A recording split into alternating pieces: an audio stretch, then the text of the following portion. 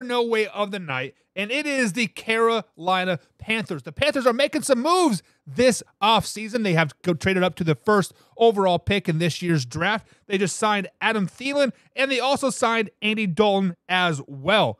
Combs, with all these moves and all the potential number one overall pick, are the Colts the most inner? Uh, uh, are the Colts the best team in the NFC South? You, are talking. You, you mean the the Panthers? The, the Panthers, yes, the Panthers. I'm sorry, Panthers. Yeah, I just got done talking about the Colts. Yeah, no, uh, they're not. I, I believe the Saints are the best team in the NFC South.